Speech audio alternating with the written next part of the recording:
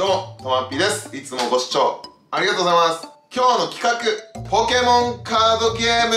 無料配布したら時速何パック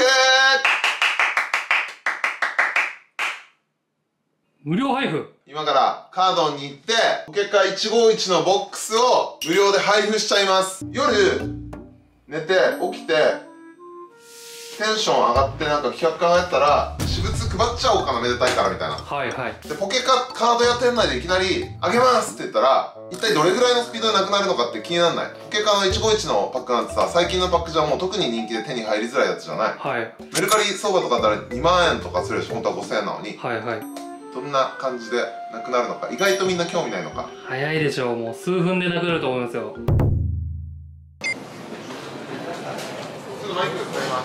カード店内に移ってきました店内ねデュエマの大会の、まあ、何回戦目かがスタートしたばかりのところで、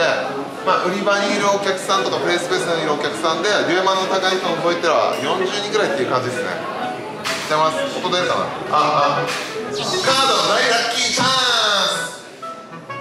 皆様本日もカード秋葉本店にお越しいただき誠にありがとうございます会長ともハッピーよりサプライズなお知らせですえー、ただいま売り場ハイ拝ース前にて突然ではありますが大人気ポケモンカード151の無料